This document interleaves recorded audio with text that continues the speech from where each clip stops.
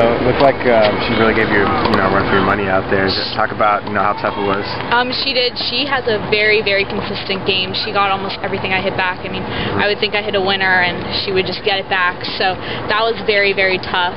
Um, I just had to find something deep inside me, and I got a second win in the third set. So that was great to come back, and it felt really good.